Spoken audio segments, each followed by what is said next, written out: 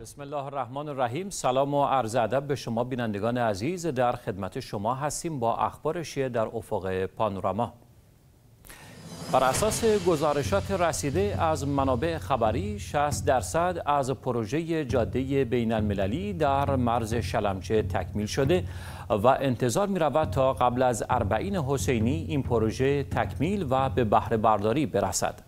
در همین راستا حسام یوسف مدیر این پروژه اظهار داشت آسفالت ریزی به میزان یک کیلومتر در روز در حال انجام است و این پروژه شامل احیای جاده قبلی و الحاق باند دوم به آن است. لازم به ذکر است جاده بین المللی شلمچه یکی از مهمترین جاده های تجاری بصره است که بندر شلمچه را از شرق عراق به ایران و سایر استانهای عراق متصل می کند. گفتنی است این جاده شاهد مبادلات تجاری و واردات مواد غذایی است و کریدور زمینی اصلی تردد زائران از ایران به عتبات عالیات در نجف و کربلا محسوب می شود. این پروژه پس از تکمیل بندر شلمچه را به پل خالد که به جاده فرودگاه بین المللی بصره متصل می شود وصل خواهد نمود. حسام یوسف در ادامه تاکید کرد قرار است کل پروژه در مرداد ماه آینده و قبل از اربعین امام حسین علیه السلام تحویل داده شود تا به تسهیل در رفت و آمد زائرین کمک کند.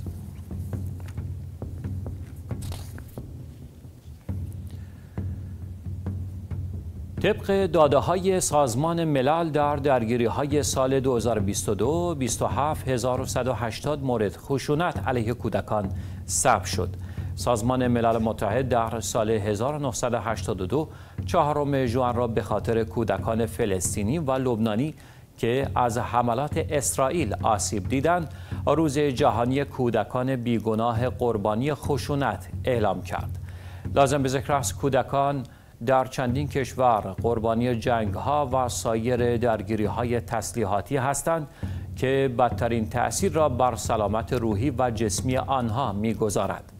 به عنوان مثال از آغاز تجاوز به نوار غزه 620 هزار دانش آموز از تحصیل در مدارس محروم شدند. همچنین 88 هزار دانشجو از تحصیل در دانشگاه محروم شدند. در همین حال بیشتر کودکان از آسیب‌های روانی و شرایط سخت بهداشتی رنج می‌برند.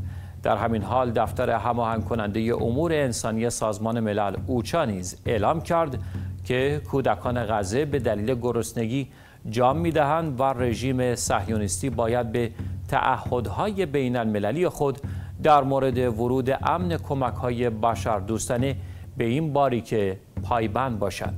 از سوی دیگر جاناتان کریکس رئیس ارتباطات یونیسف در فلسطین نیز گفت وضعیت جاری در رفح یک فاجعه برای کودکان است. در صورت توضیح نشدن مواد غذایی به ویژه مواد غذایی آماده درمانی که برای رفع سوء تغذیه در بین کودکان استفاده می شود. درمان بیش از سه هزار کودک مبتلا به سوء تغذیه حاد قطع خواهد شد.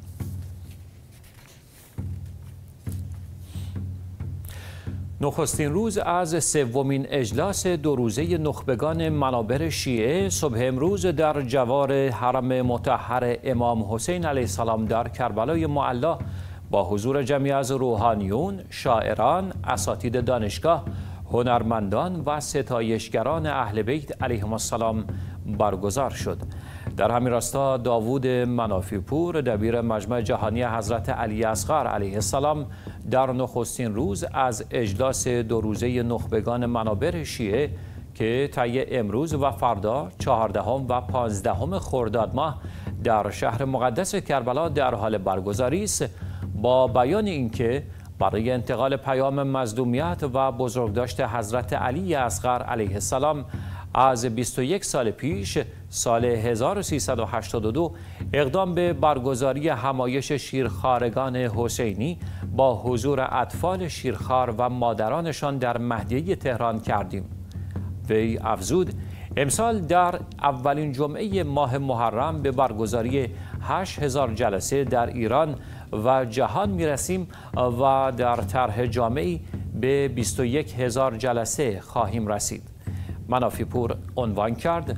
تصویرگری یک طفل شیرخوار که با مادر به این روزه خانه می آید بهترین صحنه بود که برای جهانیان تصور و مصور کردیم و موجب شد توجه ملل به این موضوع جلب شود. و در ادامه افزود دومین نیروی مظلومیت که امروز ارائه خواهم کرد و حاصل حدود هفت سال تحقیقات است پیراهن حضرت سید الشهدا علیه السلام است. همچنین سومین نیروی مظلومیت جغرافیای مقدس سرزمین کربلاست موضوعی بدی که نیاز است شما نخبگان در هنرهای مختلف به این سه موضوع بپردازید چرا که پرداختن به آن نیروی جدیدی برای شیعه خواهد شد.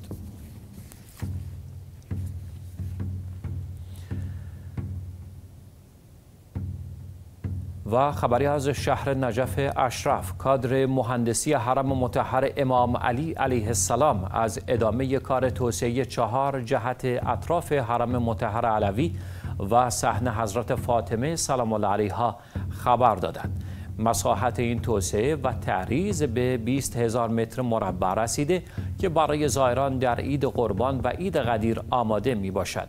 در همین راستا مهندس حسین المرشدی رئیس کمیته توسعه اظهار داشت کار در پروژه توسعه اطراف صحنه هیدری و توسعه زل جنوب غربی مجاور صحنه فاطمه زهرا سلام الله علیها به سمت مقام صافی و صفا و مقام امام زین العابدین علیه السلام ادامه دارد. مهندس مصطفی المحبوب رئیس اداره فنی و مهندسی حرم متحر علوی طی سخنانی افزود طرحهای اساسی طرح توسعه و توسعه بزرگ شامل حفظ آثار باستانی و میراسی شهر مقدس نجف است که در حوزه های توسعه گنجانده شده است.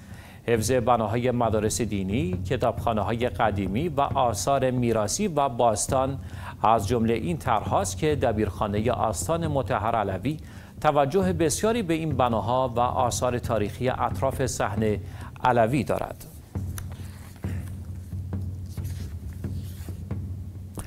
خبری از افغانستان طالبان روز سهشنبه 63 نفر از جمله 14 زن را در ورزشگاه مرکزی سرپل در شمال افغانستان در ملع عام شلاق زد دادگاه حالی طالبان اعلام کرد این افراد به اتهامهای سرقت، لوات و روابط غیر اخلاقی مجازات شدند.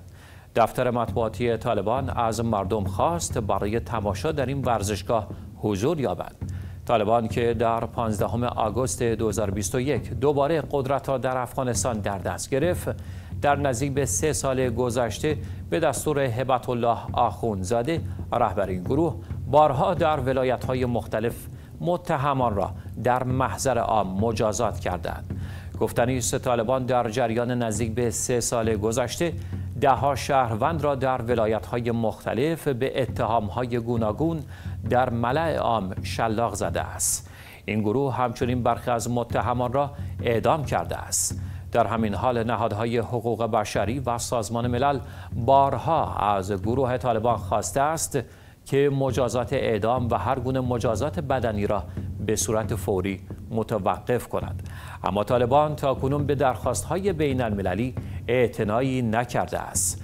عبدالله سرحدی والی طالبان در بامیان اخیرا گفته است که طالبان جامعه را با قصاص و قطع عضو اصلاح می کند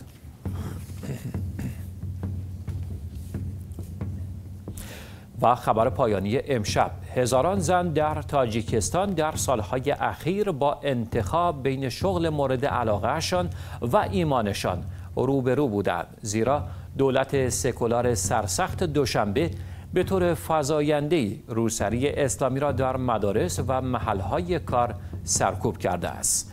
لازم به ذکر است علیرغم ممنوعیت مؤثر حجاب در مؤسسات عمومی هیچ قانونی در تاجیکستان وجود ندارد که پوشش اسلامی را غیرقانونی کند اما این امر در شرف تغییر است. در تازه ترین تلاش مجلس تاجیکستان حجاب اسلامی را به عنوان پوشش مغایر با فرهنگ ملی اعلام کرد مجلس نمایندگان تاجیکستان طرحی موسوم به قانون تنظیم سنت ها و مناسک تصویب کردند که بر اساس آن حجاب به عنوان پوشش مغایر با فرهنگ ملی شناخته شده و فروش و تولید لباسهای اسلامی و برگزاری مناسک اسلامی در اماکن عمومی ممنوع و به جمعهای خصوصی محدود می شود. لازم به ذکر است مجازات متخلفان از معادل 740 دلار برای افراد تا ببخشید تا 5400 دلار برای اشخاص حقوقی متفاوت است. عزیزان بیننده از همراهی شما با خبر پانوراما سپاس گذاریم. شب خوش.